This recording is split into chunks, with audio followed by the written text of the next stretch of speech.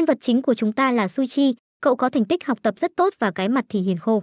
Thầy muốn cậu suy nghĩ về việc hướng nghiệp và chọn trường thì cậu vẫn chưa nghĩ ra gì nên sẽ cần thêm thời gian để đưa ra câu trả lời. Ở lớp, cậu được nhiều bạn bè vây quanh, thường xuyên bị nhờ vả và giúp đỡ các bạn trong việc làm bài tập. Cậu thấy việc được ở bên bạn bè như này là tốt nhất, còn thứ gọi là sống thật với bản thân thì xem như không có cũng được. Ở tiết thể dục, cậu phát hiện có xác của một con gì đó gần sân nhưng cứ giả vờ không thấy. Lúc vào lớp, cậu chăm chú suy nghĩ về việc con vừa rồi có vẻ là trồn núi bị xe cán chết. Cô bạn phía trước để lộ hàng mà Sui Chi lại không để ý mà cứ ngồi nhìn khiến cô nghĩ cậu biến thái nên ném cho cậu một cuốn sách vào mặt. Chiều hôm đó, đang quét lớp thì cô bạn Nana vào khoe với cậu là cô vừa nhận được giấy giới thiệu vào đại học. Nana để ý thấy Sui Chi bị bẩn ở quần thì cậu đã không nói về việc cậu đã chôn cất cho con trồn. Đêm đó, Sui Chi không ngủ được nên đã ra ngoài đi dạo. Cậu không biết từ khi nào mắt cậu đã tốt lên và không cần kính nữa. Mũi cậu cũng nhạy hơn và ngửi được mùi hỏa hoạn từ ngọn núi đằng kia. Cậu đã đến xem và định gọi cứu hỏa thì ngửi thấy có người bên trong. Cậu rất muốn tránh đi nhưng bản năng đã lôi kéo cậu vào trong cứu người. Cậu đã đã biến thành một hình dáng mà cậu xem là kỳ dị. Cậu không biết tại sao trong vô số hình dạng thì cậu lại biến thành một con thú nhồi bông và còn là chó. Nhưng giờ không phải lúc than thân trách phận mà là lúc để cứu người. Cậu đã lao đến húc vỡ bức tường và đưa cô gái kia ra ngoài. Khi đã an toàn thì đứng trước một cô gái điện nước đầy đủ thì thú tính của cậu chợt nổi lên. Nhưng cậu đã kiểm soát lại và quay đi. Cậu vừa đi thì cô gái đó cũng tỉnh dậy. Sáng hôm sau, TV đưa tin về vụ hỏa hoạn đó. Sui Chi thì phát hiện điện thoại của cậu đã biến mất và hẳn là đã rơi ở vụ hỏa hoạn. Cậu lo sợ cảnh sát sẽ tìm được và điều tra cậu, nhưng cậu đã gặp lại cô gái mà cậu cứu và cô đang giữ điện thoại của cậu. Cô muốn biết thêm về thứ quái vật như cậu.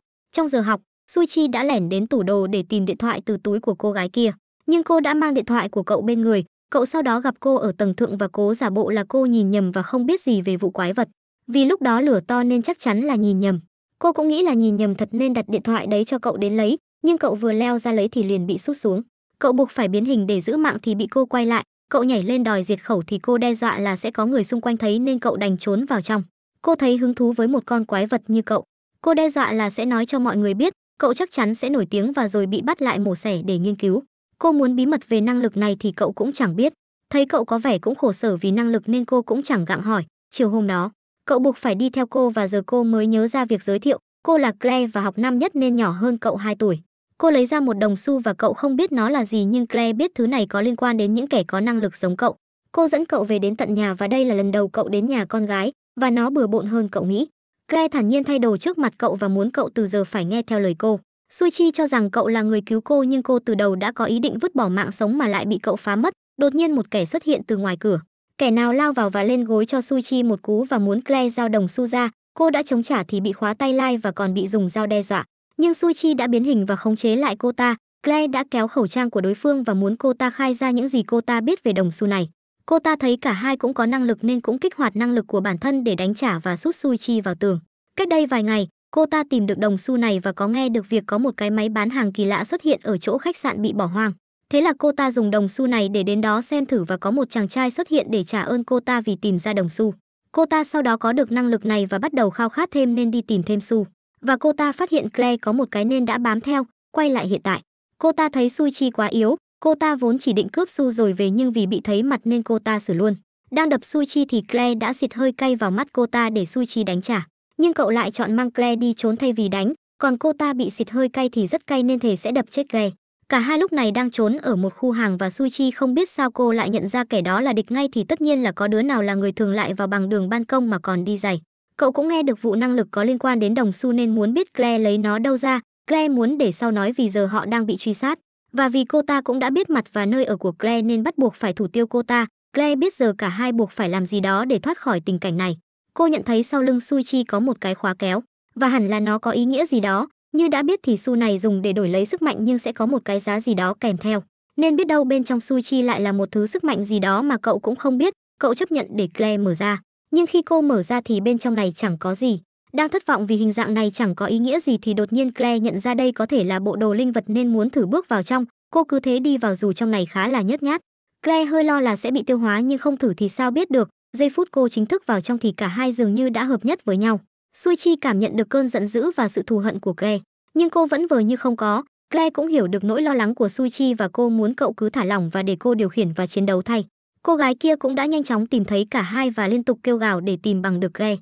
Nhưng thấy không có trả lời gì nên cô ta lao đến liên tục sút vào Su Chi. Claire sau khi ăn đòn đủ thì cũng đã ra tay đánh trả. Cô ta bị ăn lại một cú trực diện thì cũng xây sẩm mặt mày, choáng một lúc thì cũng quay lại đánh và đè được Suichi ở ngay dưới chân. Claire lúc này đã rất tức giận và quay lại đánh trả. Cô đã hoàn toàn quen với việc điều khiển và liên tục đấm vào mồm à ta, cô đấm liên tục mặc cho Suichi can ngăn nếu không sẽ xảy ra án mạng. Nhưng cậu đã không thể điều khiển được nữa vì Claire đã chiếm hết quyền. Claire đã tóm chân cô ta và đe dọa sẽ bẻ nếu cô ta không khai ra cách dùng đồng xu, cô ta vẫn cứng miệng và bị bẻ ngay tức khắc. Claire cũng không cho cô ta chạy mà giữ lại rồi rút cây súng bên hông ra bắn luôn. Suichi chẳng thể làm được gì và rồi tận mắt chứng kiến án mạng xảy ra. Một tuần sau, Suichi và Claire chẳng hề nói chuyện với nhau, cậu cũng chẳng có gì thay đổi trong cuộc sống bình thường. Claire sau đó đã phải đến tìm cậu vì cậu cứ bơ cô cả tuần qua. Suichi lại phải đi theo cô và thấy cô vẫn không có cảm giác gì sau khi giết người, nhưng cô cho rằng đó là tự vệ chính đáng và việc họ làm không hề bị lộ. Suichi không muốn dinh dáng đến Claire nữa mặc kệ việc cô có nói ra thì cô cũng sẽ gặp chuyện. Claire cho rằng nếu giờ cậu bỏ đi thì lần tới nếu còn gặp mấy tên quái vật thì cậu tính chiến đấu kiểu gì. Cậu có sức mạnh nhưng quá tốt bụng để ra tay, còn cô thì yếu đuối không thể tự bảo vệ bản thân nên cả hai mới cần kết hợp với nhau. Cậu vẫn rất sợ hãi năng lực của mình, vì cậu không biết đây có phải lời nguyền hay căn bệnh gì không, và liệu càng dùng thì cậu sẽ sớm chết hay chăng. Chẳng ai có thông tin về việc này, Claire hiểu cảm giác đó của cậu nên cô quyết định sẽ trở thành một với cậu, nếu cậu chết thì cô cũng chết. Nếu cậu muốn chết bây giờ thì cô cũng sẵn sàng đi với cậu. Claire trèo lên cao và bảo là sẽ chờ cậu ở bên kia và nhảy xuống. Suichi đã buộc phải biến hình và lao đến đỡ lấy cô khiến cô cũng thất vọng vì chút nữa là được thanh thản. Cô sau đó đã kể về việc cô từng có một người chị gái, nhưng người chị đã sát hại bố mẹ và rồi đi biệt tích và chỉ để lại cho cô đồng xu này. Và giờ ta cũng biết được việc cô chị của Claire trước đây đã cầu xin chàng trai ở máy bán hàng đó ban sức mạnh cho một người mà cô yêu. Suichi sau đó lại tiếp tục đến nhà Claire, cô vẫn bừa bộn và lý do cả hai ở đây là để hợp thể tiếp. Vì sắp tới họ sẽ lên đường đi tìm bí mật về năng lực và đồng xu này nên sẽ cần phải hợp thể để làm quen thêm và xem thử những khả năng của nó để thuận lợi hơn nếu chiến đấu. Claire đòi cởi luôn nội y vì trong kia nóng như cái lò thì Suichi bắt cô mặc đồ bơi của trường vào khiến cô thấy cậu cũng lạ đời, cả hai sau đó lại hợp nhất. Claire thử đi và cũng để Suichi tự điều khiển lại, nhưng cô có thể tự dừng lại và nhận thấy người ở trong có thể điều khiển mạnh hơn người làm bộ đồ. Nghịch ngợm một lúc thì Suichi sau đó đã phải dọn lại nhà cho Claire. Claire nhờ cậu lấy giúp lương khô trong tủ lạnh và sau đó đã nhờ cậu biến hình lại lần nữa. Cô nhận ra cậu có mũi thính như cờ hó thật nên đưa đồ của chị gái ra cho cậu ngửi và dò tìm, vì chị cô có thể có thông tin mà họ cần biết. Claire không hề thấy tận mắt bố mẹ chết nhưng xác họ ở ngay cạnh người chị gái giống như quái vật thì đã đủ để kết tội. Suchi thấy cô vẫn còn bồn chồn và do dự khi nhắc đến chị gái. Cả hai sau đó mở túi ra và ngửi thì bị sốc với cái mùi máu nồng nặc đến đáng sợ trong đó. Không ai biết cô ta đã giết đến bao nhiêu người rồi nhưng có thể chắc chắn cô ta là một kẻ sát nhân. Suichi sau đó quyết định sẽ lên đường đi tìm chị của Claire. Cả hai sau đó đã phải đi mua đồ để chuẩn bị. Lúc ra ngoài ngồi ăn thì Suichi cứ ngồi suy nghĩ, Claire thấy cậu cũng gan vì tới cô còn sợ khi ngửi cái mùi đó. Vậy mà cậu lại sẵn sàng đi tìm, Suichi muốn biết cô sẽ làm gì khi gặp chị gái thì Claire chỉ muốn hỏi vài thứ. Cả hai sau đó đứng rình ở gần một ga tàu, vì một học sinh cấp 3 như chị cô thì sẽ chẳng thể sống tự lập ở thành phố khác nên chắc chắn chị cô vẫn còn ở trong thành phố này.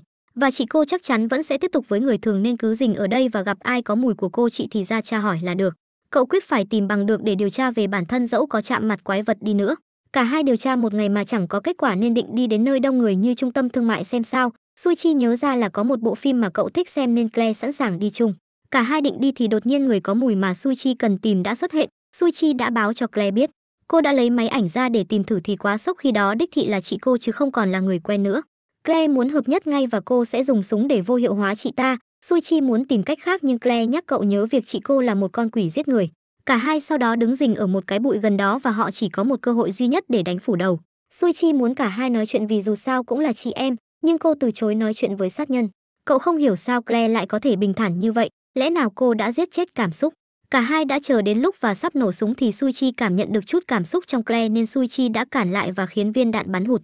Chị gái Claire đã ngay lập tức dùng năng lực và bay ra sau. Suichi biết ca này ăn cám rồi vì cậu cảm nhận rõ chênh lệch giữa cả hai nhưng cô lại không tấn công mà lại tỏ vẻ thẹn thùng rồi muốn đi chỗ khác nói chuyện.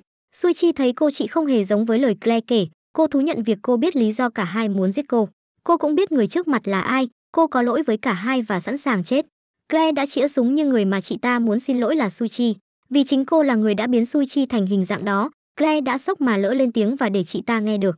Ngay lập tức, chị ta đã dịch chuyển ra sau và kéo đứt đầu Suichi vì chỉ chị ta được ở trong đó. Nhận thức được việc bản thân đã làm thì chị ta liên tục gọi Sui Chi tỉnh dậy, nhưng Claire đã tức giận rút súng chạy về phía chị ta, dù bắn bao nhiêu cũng đều xuyên qua hết. Claire bị chị ta tóm lấy và làm rơi súng. Chị ta ném Claire lên trời và nhận ra em gái, cô không biết Claire chui vào trong Sui Chi làm gì thì Claire muốn biết lý do chị hại chết bố mẹ. Chị ta cho rằng bố mẹ chết là do tai nạn, với cả Claire trước đây cũng mong muốn bố mẹ biến mất. Vì cả hai bị họ gò bó đủ kiểu, bố làm chính trị ra thì lén lút làm chuyện xấu, mẹ thì ngoại tình nên họ có biến mất cũng tốt. Chị ta giờ đã có sức mạnh nên chẳng cần Claire bảo vệ nữa. Cô từ giờ sẽ bảo vệ Claire, cô hỏi Claire còn đồng xu hay không. Nếu không thì chị ta cho thêm đồng nữa và chỉ cô đến khách sạn bỏ hoang, chị ta sau đó nhận được điện thoại nên cùng rời đi. Claire sau đó thấy Sui Chi không còn phản ứng gì thì cũng định nổ súng để đi theo Sui Chi như đã hứa. Nhưng lúc này thì cậu đã tỉnh lại và ngăn Claire trước khi cô làm gì dại dột, cậu không muốn Claire chết. Cả hai sau đó đã đến khách sạn bỏ hoang và gặp một chàng trai ở đây. Anh ta thấy tình trạng của Sui Chi khá thảm và còn mang theo đồng xu nên muốn lấy đồng xu từ Claire để chữa cho Sui Chi. Anh ta cho biết Sui Chi còn sống là còn cứu được. Và khi có được đồng xu thì anh ta đã bỏ vào máy bán hàng và lấy ra một chai thuốc cho Sui Chi uống. Thuốc này sẽ giúp cậu liền lại cỏ và thấy may vì nếu cậu biến về dạng người ở tình trạng đó thì xác định là hết cứu. Anh ta muốn cậu giữ chắc cổ trong lúc đợi nó liền lại. Claire sau đó phải chui ra ngoài vì quá nóng. Anh ta sau đó cho biết việc bản thân là người ngoài hành tinh và thấy cả hai có vẻ không biết. Vì anh ta cứ nghĩ ai biết đường mà đến đây thì hẳn là đã phải nghe về việc anh ta là người ngoài hành tinh. Anh ta dù là mượn tạm hình dạng này nhưng mấy đặc điểm sinh học vẫn phải mang theo. Nhìn Claire có vẻ không tin nên anh ta xin một sợi lông hoặc tóc. Cô không cho nhưng nãy anh ta đã tự lấy và sau khi nuốt sợi tóc thì anh ta cũng biến thành Claire. Anh ta có thể giúp cô thay đổi cơ thể nếu cô không thích bằng loại thuốc kia. Anh ta cũng tiết lộ luôn việc anh ta đã biến Sui Chi thành hình dạng đó. Nhưng anh ta chỉ giúp có năng lực còn hình dạng biến thành thì là do nguyện vọng của chính cậu. Cậu không hề nhớ việc bản thân đã uống thuốc đó và chọn lấy hình dạng này. Anh ta sau đó kiểm tra lại cho Sui Chi và thấy cậu đã ổn nên có thể biến lại thành người. Cậu trở về dạng người thì Claire đã lao đến ôm lấy. Anh ta sau đó thú nhận việc anh ta và đồng loại chỉ là những thực thể dạng ý thức. Vì ở ngoài không gian càng lâu càng bất tiện nên mới phải nén tâm trí và tri thức lại thành một hình dạng cụ thể, và đó chính là đồng xu này. Vì tàu vũ trụ xuống cấp nên đồng loại của anh bị phân tán khắp nơi nên mới cần người thu thập giúp đỡ tìm lấy.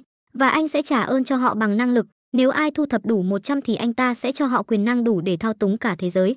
Clay vẫn muốn biết về việc lý do Su Chi bị biến thành hình dạng này dù cậu không biết gì về thuốc hay đồng xu, và họ nhớ đến chị gái của Clay để nói về việc chính chị ta đã biến Su Chi thành hình dạng này, nhưng suy cho cùng việc thích tham gia vào vụ này hay không là tùy mỗi người chứ chẳng ai ép.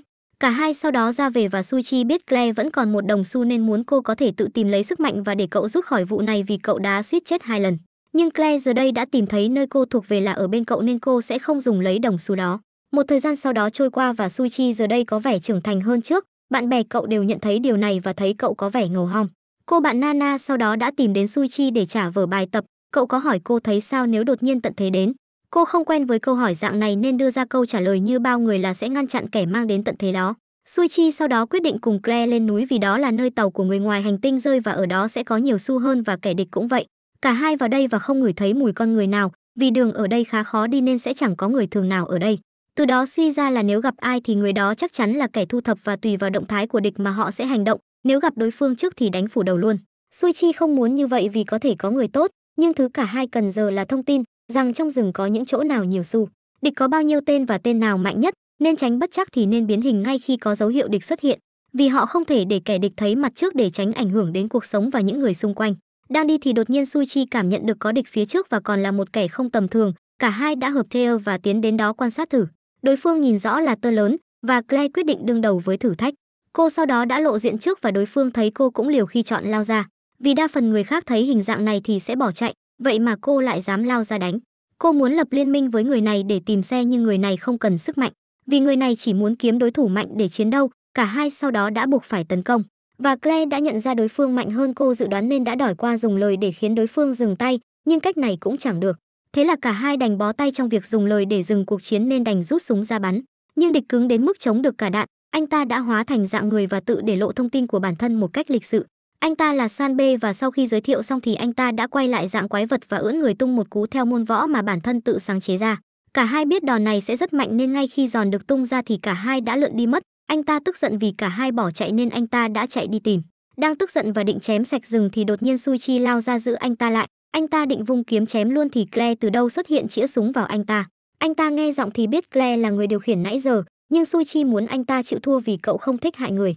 Anh ta nhận ra là có hai người và khẩu súng Clay cầm có thể xuyên tay anh ta và nếu con người yếu ớt bắn thì áp lực lên cơ thể là rất lớn nên anh ta chấp nhận chịu thua.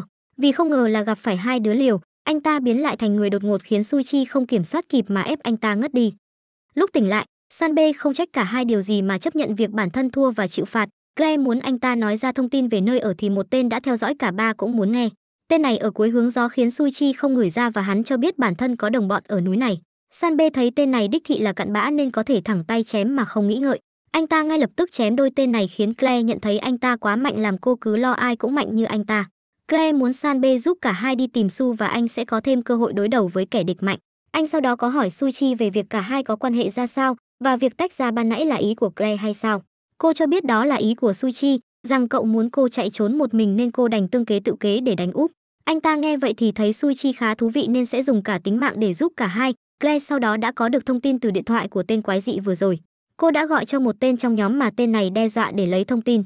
Cô nói thẳng là tên đe dọa họ đã chết nên cô sẽ gia nhập với họ. Cô muốn làm cách này để kiếm thêm thông tin. Với cả San B cũng chỉ chấp nhận chiến đấu vì cả hai còn mấy kẻ trời ơi đất hỡi thì đừng có mơ, cả hai vẫn buộc phải kiếm thêm thông tin. Vì có thể chị cô ở trên này và có đồng bọn vì họ đều thấy chị ta nghe điện của ai đó mà rời đi.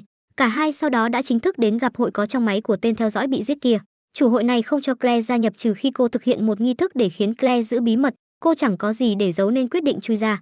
Ai nấy đều khá sốc khi thấy Claire từ trong chui ra vì lần đầu họ thấy một người có năng lực biến thành bộ đồ cho người khác chui vào. Claire đã đi theo chủ hội và dặn Sui Chi cứ yên tâm ở lại. Claire thấy cái hội này có năng lực nhưng đa phần gần như vẫn giữ được cơ thể bình thường khi đã dùng năng lực. Sui Chi thì ngồi co ro ở một góc và cô gái đội mũ bảo hiểm đã đến gặp cậu và muốn sờ thử vào đầu. Cậu đã cho phép trong khi đó thì thanh niên đầu camera liên tục lo sợ về Sui Chi và muốn cô bạn đừng đụng vào cậu. Trong lúc đó, hội trưởng bên kia đã nói ra việc cô ta có năng lực ép người khác phải giữ bí mật nên muốn biết lý do Claire tham gia vụ này thì cô đã đi lấy điện thoại từ chỗ Suchi và rồi quay lại. Cô lấy ảnh của chị gái ra và cho biết đây là lý do, hội trưởng nhận ra đây là Elena. Tất nhiên là vì Elena rất nổi tiếng và Claire muốn biết thêm thông tin nhưng cô ta chỉ nói khi Claire gia nhập. Cô ta từng yêu một giáo viên và đã ngu ngốc kể cho bạn thân nghe điều đó và rồi chuyện lộ ra khiến giáo viên đó phải tìm đến cái chết. Từ đó cô ta ghét những kẻ không biết giữ bí mật. Còn Su Chi lúc này đã được cô gái đội mũ bảo hiểm làm thân. Cô có hỏi cậu về việc mũi cậu thính ra sao và cô cần cậu giúp trong việc tìm lại chiếc ví bị mất.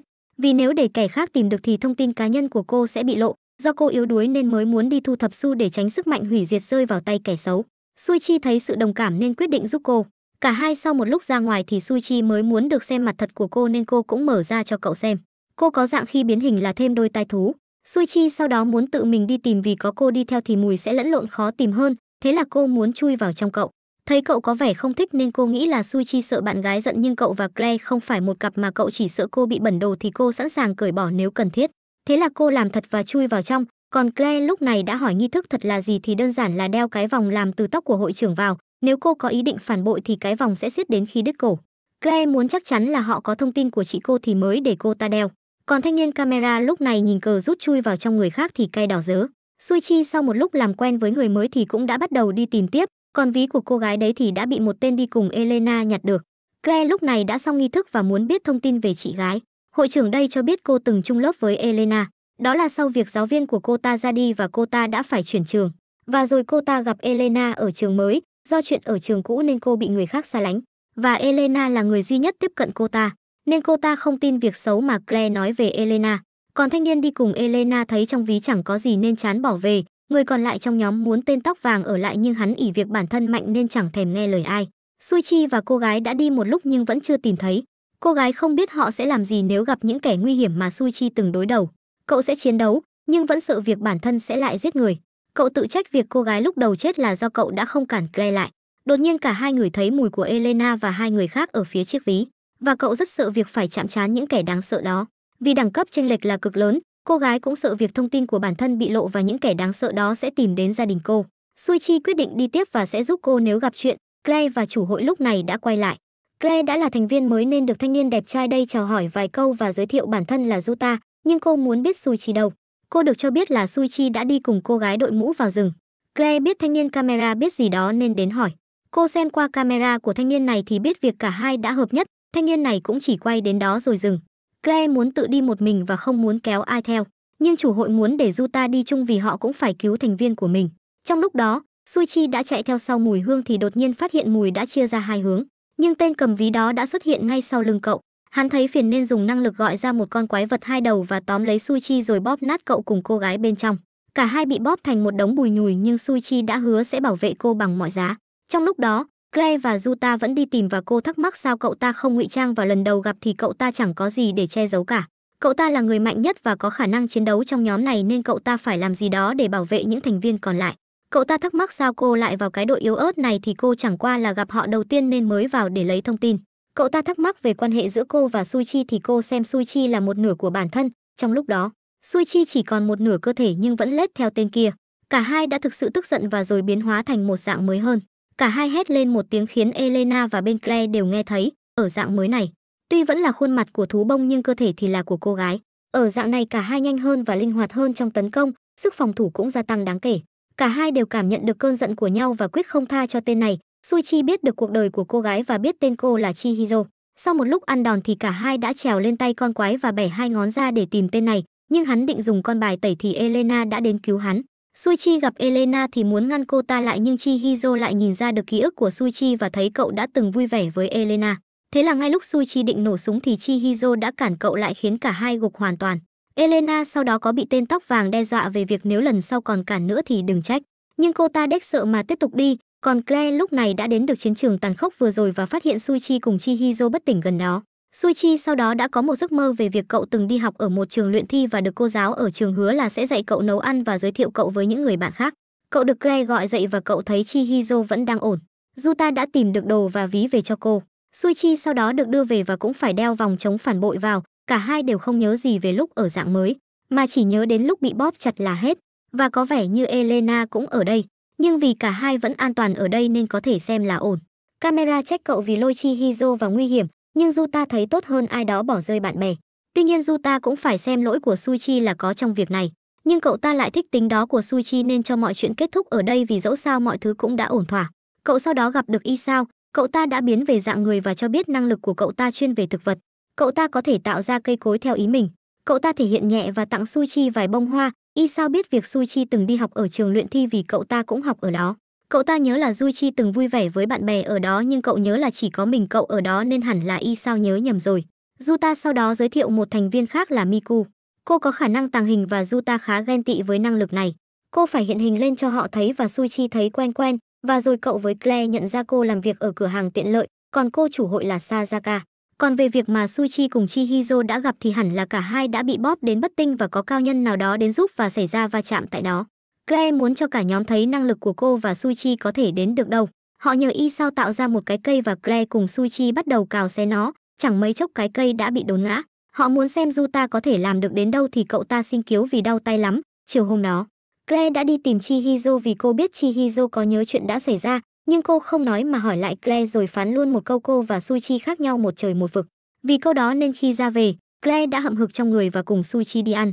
Cô muốn biết cô và Chihizo thì ai hơn, Thấy cậu không hề muốn nói về việc này nên cô xem như chỉ là đùa. Lúc trở về, cô vẫn biết chắc chắn là đã có chuyện xảy ra. Vì ở chiến trường đó có khá ít dấu chân nên không thể nào là có nhóm nào đó đến đánh thay Suchi. Và cô cũng cay về lời mà Chi Hizo đã nói, tối đó, Suichi có đi dạo thì gặp cậu bạn cùng lớp. Suichi thấy cậu ta đang chôn cất cho trồn núi nhưng con trồn này có vẻ là đã bị cắt mất chân. Nhưng cậu không có ý nói ra, cậu sau đó biết cậu bạn đây có quen với mấy đứa nhìn có vẻ không đứng đắn.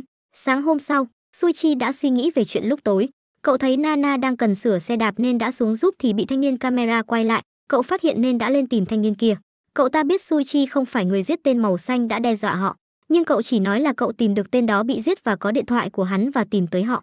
Cậu ta vốn không ưa Suichi sau vụ lần trước nên lấy năng lực của Suichi ra để chế nhạo, nhưng cậu thừa nhận khuyết điểm ở năng lực của bản thân và cứ thế bỏ đi.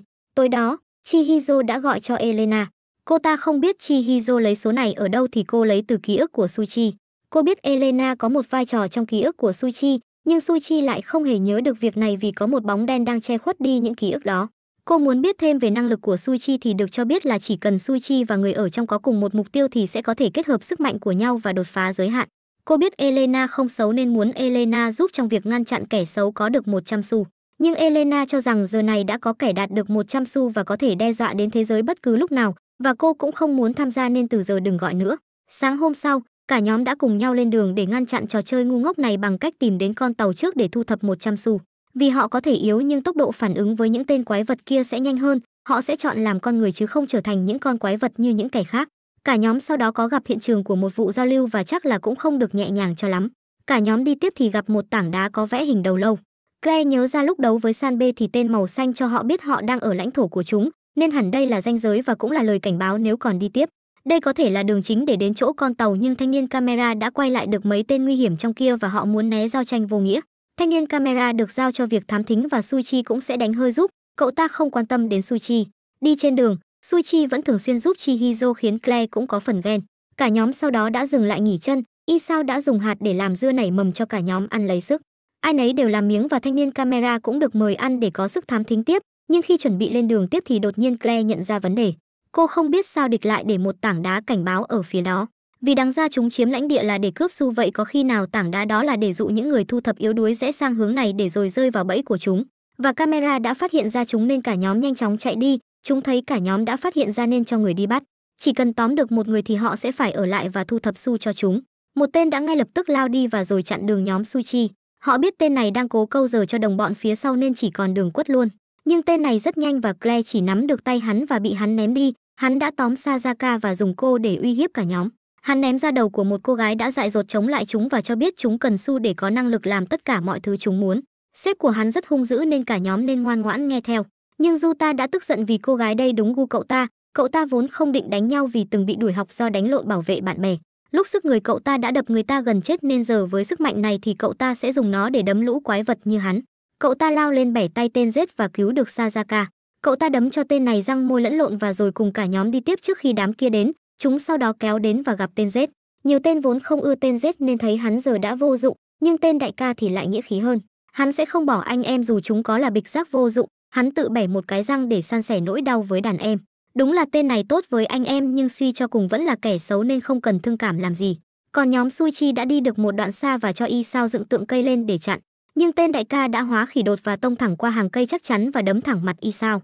Hắn nghĩ y sao đã đánh đàn em hắn nên Juta đã lao lên đánh thì bị hắn quật ra. Hắn để ý thấy Sui Chi và Claire thì nhắm đến. Hắn bơ Juta khiến cậu ta rất bực, nhưng bực thì cũng chẳng làm được gì hắn. Hắn đến trước Sui Chi và cậu biết tên này khủng khiếp đến mức nào. Hắn thấy cậu khá lạ khi có một đứa con gái bên trong. Hắn đã mò ra sau để kéo khóa xuống thì Claire đã nổ súng, nhưng hắn không hề xây sát mà còn lấy luôn súng và định thử lên Chihiro. Cậu đã phải hóa lại thành người để hủy súng đi, nhưng đám còn lại giờ mới lòi mặt ra. Hắn nói thẳng là họ không có cửa để đánh lại hắn và đồng bọn, nên giờ hắn cho cả nhóm lựa chọn.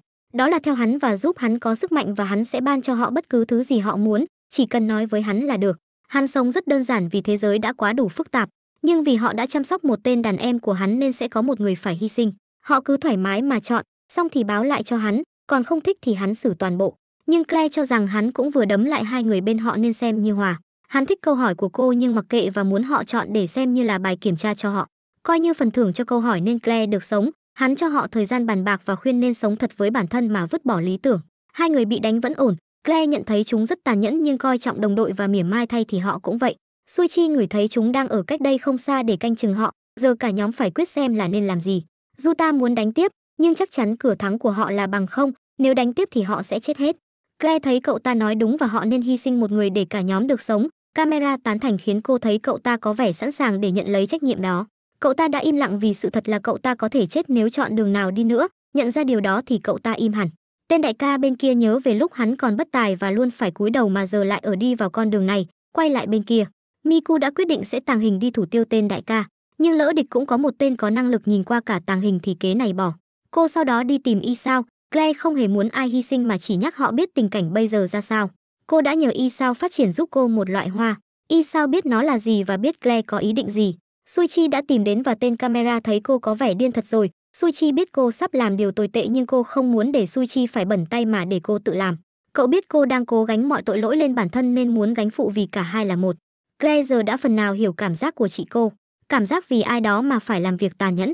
Lửa sau đó đã bùng lên, và đám kia giờ mới nhận ra cả nhóm đang bắt đầu chạy đi. Tên camera đã chạy đến và cảnh báo chúng, y sao cho biết đây là hoa trúc đào, một loại hoa đẹp nhưng có độc ngay cả ở trong khói. Thanh niên camera định nói thì ngay lập tức bị vòng cổ của Sajaka siết chết. Tên sếp thấy cả bọn đã chống đối thì cho lệnh xử hết, nhưng hắn vừa chạy đi một đoạn thì đồng bọn đã bắt đầu gục hết, và hắn vẫn cố ở lại để cứu những đàn em yêu quý của hắn. Suichi không biết hắn có lên được đến đây không nhưng Claire hiểu rõ tính cách hắn nên tin là hắn sẽ ở lại cứu người. Cho nên thứ đáng sợ không phải là năng lực mà là ở con người sử dụng.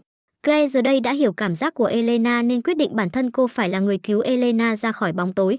Elena đã đến gặp anh trai ở máy bán hàng và anh ta nhận ra Elena và biết người Elena yêu cũng đến đây, nhưng anh ta chưa hề nói gì cả vì anh ta ở phe trung lập. Elena biết việc này đã có rất nhiều người chết và cô tự hỏi nếu anh ta chết thì mọi thứ có kết thúc không. Nhưng ai biết và thích thì có thể thử. Trong lúc đó, Hội bên kia định giải tán thì Claire không đồng ý vì vẫn có thể còn kẻ sống sót và chúng sẽ đến báo thù. Họ đã thử gọi cho camera nhưng không thấy hồi đáp, nên tạm thời giờ cả nhóm cứ chấn tỉnh một thời gian rồi tiếp tục. Tối đến, ai nấy đã về theo cặp và đáng chú ý nhất là cặp của Juta và Isao. Cả hai đều không ngờ Claire lại làm một việc kinh khủng và sát hại nhiều người đến vậy. Và Suchi thì lại không hề ngăn cản Claire như thể cả hai đã từng giết người trước đây nên mới có thể bình tĩnh mà đối điện với điều đó. Suchi lúc này đã quyết định chiến đấu, cậu chấp nhận việc bản thân có thể đã chọn hình dạng này nên giờ cậu không chắc về việc bản thân có muốn ngăn Elena lại nữa hay không, nhưng cậu vẫn sẽ cố tìm ra câu trả lời cho chính bản thân mình. Và chỉ khi đó thì cậu tin cậu và Claire sẽ thực sự trở thành một. Claire sau đó có rủ cậu hôm nào rảnh thì đi chơi một chuyến, sáng hôm sau, Suichi đến trường như thường và Chi Chihiro đã chuyển đến đây, cô đã có hỏi Suichi về việc sẽ ra sao nếu có kẻ đã thu thập đủ nhưng chưa ước thì cậu chịu. Ban đầu cậu nghĩ người thu thập đủ 100 xu sẽ ước có mọi thứ họ muốn như nhóm kia nhưng giờ cậu lại suy nghĩ khác. Cậu muốn Chi Chihiro cứ giả vờ không quen biết lúc ở trường nhưng nếu có thấy nguy hiểm thì phải nói ra. Suichi sau đó nhận ra cậu bạn mà Suichi gặp đêm hôm đó đã không đến trường một thời gian và nhiều ngày sau đó. Cậu nghe tin cậu bạn đó giao du với đầu gấu trường khác và người ta phát hiện một cái xác cháy đen ở bìa rừng có vẻ là cậu bạn đó. Sui Chi nhận ra việc phóng hỏa đó đã khiến cậu mất đi một người bạn. Cậu sau đó đến gặp anh ngoài hành tinh, cậu đến hỏi về việc anh ta biết gì lúc cậu chọn biến thành bộ đồ này và Elena có liên quan không thì anh ta không nói. Tên cầm kiếm bịt mặt của đám kia đã còn sống và phát hiện Sui Chi ở đây. Sui Chi nói thẳng mong muốn của bản thân là kiếm đủ 100 xu và lấy lại cuộc sống bình thường của cậu và chấm dứt trò chơi một lần và mãi mãi. Anh ta không quan tâm đến việc đó vì với anh ta việc tìm kiếm lại toàn bộ đồng loại là quá đủ. Cậu sau đó ra về và đến một bãi phế liệu và bảo thanh niên cầm kiếm ra mặt đi. Hắn giờ đã không còn thiết tha mấy đồng xu nữa mà chỉ cần báo thủ là đủ. Hắn nghĩ Su Chi không có ai chiến đấu cùng thì rất yếu, và hắn đã nhầm khi bị cậu lật một cú bay mất kiếm. Cậu đã hỏi hắn về cậu bạn và hắn thấy Su Chi chẳng biết gì về cậu bạn đó. Cậu bạn đó là một phần của nhóm và trong vụ hỏa hoạn thì cậu ta cũng đã xả thân cứu người.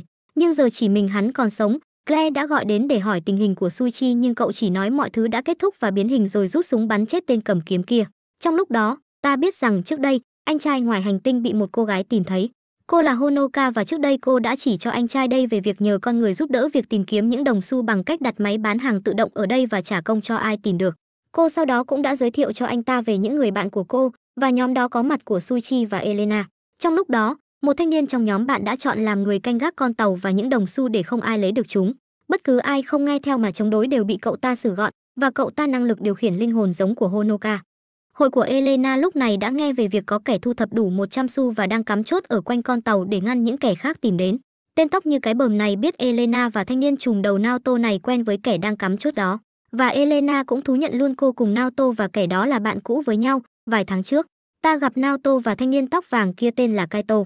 Naoto có cờ rút một cô trong nhóm bạn là Aiko và nhận thấy Aiko gần đây có vẻ lạ. Trước đây, cả nhóm của Suichi đều là những học sinh trong trường luyện thi, nơi đó phần lớn là để học sinh vui chơi hơn là học hành. Bố mẹ chỉ toàn gửi con cái vào đó để có thời gian đi làm. Kaito nghĩ là có khi giờ họp mặt cả nhóm lại thì sẽ rất vui, đến ngày hẹn gặp. Naoto đã đem Aiko đến trước, Suichi và Elena cũng đến ngay sau đó. Saito thấy Honoka là người duy nhất chưa có mặt. Cả nhóm đã phải cho Kaito biết việc Honoka đã gặp chuyện, bố của Honoka bị bắt vì giết người nên cô bị lấy tiếng xấu và giờ đã mất tích. Aiko khuyên cậu ta nên tập quên Honoka dần đi là vừa, nhưng cậu ta vẫn cố chấp đến nhà tìm thì biết Honoka đã đến ở với họ hàng ở thị trấn bên. Nhưng qua hỏi thì họ hàng cũng nói là Honoka đã mất tích được một hôm và nếu gặp thì nhắc cô đừng về đây nữa. Kaito sau đó nhận ra Aiko có hành động uốn tóc giống như cách Honoka từng làm nên đã quyết định theo dõi Aiko. Và cậu ta lần tìm đến được khách sạn bỏ hoang và gặp anh trai ngoài hành tinh. Kaito sau đó đã gọi nhóm bạn đến và nói ra việc Aiko lúc này thực ra là do Honoka biến thành. Vì Naoto cũng thấy Aiko gần đây rất lạ, anh trai ngoài hành tinh cũng thú nhận việc bản thân đã biến đổi Honoka để cảm ơn cho đồng xu. Anh trai đây chỉ nói với họ vì họ là bạn của Honoka và mong họ đừng làm to chuyện để khiến chính quyền kéo đến. Vì lúc đó anh ta sẽ phải tự vệ và không ai biết chuyện tồi tệ gì sẽ xảy ra. Kaito vẫn muốn phanh phui việc này để tìm xem điều gì đã xảy ra với Aiko thật. Nhưng Naoto biết chuyện đã xảy ra với bạn gái mình nên không muốn ai khác điều tra về nó nên lấy lý do là lời cảnh cáo của anh trai ngoài hành tinh. Elena cũng theo Naoto và kéo cả Suichi đi cùng nên Kaito chỉ còn một mình. Ngày hôm sau, Kaito đã lén đi theo Honoka và quay về trường luyện thi. Cậu ta biết Honoka đã chôn Aiko ở đây và muốn cô trở lại làm con người cũ nhưng điều đó không thể nữa khiến Kaito đã nghĩ bậy và tước đi mạng sống của Honoka. Vài ngày sau, Naoto tìm được di thư của Aiko và họ biết Aiko đã nghĩ quẩn và Kaito nhận ra bản thân đã giết Honoka chẳng vì lý do gì. Vì lúc trước, Honoka đã đến gặp anh trai ngoài hành tinh để nhờ anh ta biến bản thân thành Aiko. Vì Aiko từng rất mạnh mẽ cho đến khi bị bắt nạt một cách thậm tệ đến mức không còn chịu nổi nữa mà nghĩ quẩn. Do chỉ mới Honoka biết nên cô thà để bản thân biến mất còn hơn để một Aiko còn tương lai sáng lạn biến mất. Kaito nhận ra ai nấy đều đã biết việc Aiko nghĩ quẩn nên muốn để mọi thứ kết thúc như vậy, nhưng cậu ta không cam tâm việc Honoka bị biến mất một cách vô nghĩa và không ai nhớ đến. Không cam tâm việc người mình yêu biến mất nên cậu ta đã tìm Su và đến xin một điều ước từ anh trai ngoài hành tinh. Vài ngày sau, nhóm Suichi nghe tin Kaito cũng đã biến mất và gần đây có xuất hiện một hồn ma màu trắng. Hồn ma đó hỏi người khác tên của cô ta và không trả lời được thì sẽ biến mất. Quay về hiện tại, Claire đã tìm đến trường luyện thi và rồi phát hiện một sự thật rằng Suichi có liên quan đến nơi này vì con thú nhồi bông này chính là hình dạng mà Suichi đang có. Cô đã gọi cho Suichi và cậu lúc này đang xử lý thanh niên cầm kiếm và dù cô có hỏi gì thì cậu cũng không trả lời. Khi chắc chắn toàn bộ kẻ địch từ băng đảng đó bị tiêu diệt thì Suichi mới có thể đi gặp lại những người bạn. Cậu và Claire chỉ gặp được Yuta và Chihizo còn hội trưởng Sajaka của họ thì không thấy đâu. Suichi vào thẳng việc chính là muốn họ giao lại số xu cho cậu. Vì từ giờ cậu sẽ thay họ gánh vác trận chiến này. Giao hàng xong thì Yuta và Chihizo cũng ra về. Suichi và Claire thì quyết định hôm sau sẽ lên núi truy tìm tiếp và cả hai sau khi kết thúc chuyện này sẽ quay về với cuộc sống riêng của mỗi người. Kết thúc những gì đã xảy ra thời gian qua, nhưng Claire muốn đến nhà Suichi một chuyến. Cô vào nhà thì nhận thấy nơi này y như nhà hoang. Mạng nhện thì bám đầy nhà, bụi bẩn mà quét ra chắc cũng cả núi, trong bếp thì đồ ăn đã mốc meo.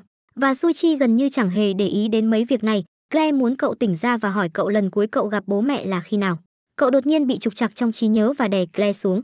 Hình ảnh về Elena xuất hiện trong đầu cậu khiến cậu tỉnh lại. Vòng cổ trói buộc cả hai cũng được gỡ ra và Sajaka hẹn cả gặp cả hai vào ngày mai và cô sẽ giao hết xu cho cậu. Nhưng thực ra, Chihizo đã bàn với bên này và gọi cả Elena. Họ sẽ giao su cho Elena để cô thay phần Suichi chấm dứt trò chơi này lại. Ngày hôm sau, Chihizo không đến trường gặp Suichi và Gre. Trong lúc đó, Elena và Naoto vẫn quyết bảo vệ Suichi bằng cách ngăn cậu nhớ ra mọi chuyện nếu không hồn ma của Honoka sẽ tìm đến và hại Suichi. Và đến khi đó thì thế giới này xem như bỏ. Chiều hôm đó, Suichi và Claire biết cả hai đã bị gài nên chia ra. Claire đã bắt được Miku đang theo dõi cô và ngăn cản việc cô ta báo về cho Chihizo. Suichi thì chạm mặt Isao và Yuta. Y sao quyết không để Suichi đến ngăn cuộc giao su nhưng Yuta quyết định để cậu đi và chỉ luôn vị trí cho nhanh. Chihizo lúc này đã giao xong su cho Elena thì Suichi tìm đến. Cậu biết Elena đã luôn cố bảo vệ cậu, cậu đã mang máng nhớ ra vài thứ từ tối qua và cậu không muốn Elena bảo vệ nữa mà sẽ tự đương đầu với mọi thứ. Claire lúc này đã đi nhờ xe của Nana để đến đây. Cô chạy xuống chỗ Suichi và lấy con thú nhồi bông kia ra khiến Suichi nhớ lại tất cả. Elena cố cản lại nhưng Suichi không để cô lấy đi những ký ức đó thêm một lần nữa. Cậu để Claire nhập vào và chống trả lại Elena. Nhưng cô làm vậy là để tránh hồn ma Honoka giết chết cậu như cách cô ta đã hại chết bố mẹ cậu. Cả hai buộc phải dùng hết sức để đánh và thành công đẩy được Elena ra ngoài sông. Nhưng hồn ma Honoka đã đến đây, cô đã hỏi Suichi và cậu định nói ra thì Elena đã nhắc cậu biết đó thật sự không phải là Honoka khiến cậu phải nổ súng. Nhưng cô ta liên tục xuất hiện trong tâm trí cậu khiến cậu dù có bắn bao nhiêu cũng chẳng ăn thua. Elena sau đó đã một lần nữa phong ấn ký ức của cậu, chỉ đến khi họ đánh bại Kaito hoặc chấm dứt trò chơi thì cậu mới được trả lại. Và Elena cũng chẳng còn nhiều thời gian. Suichi quyết định sẽ cùng Elena chiến đấu và gánh thay mọi tội lỗi của cô. Ngày hôm sau, Suichi và Claire đã gọi cả Sanbe đi chung, và Kaito thì vẫn sẽ chờ họ ở cuối con đường. Phim đến đây là kết thúc. Nghe bảo chuyện đã end rồi nên mấy ông có thể qua đọc nếu muốn. Tạm biệt.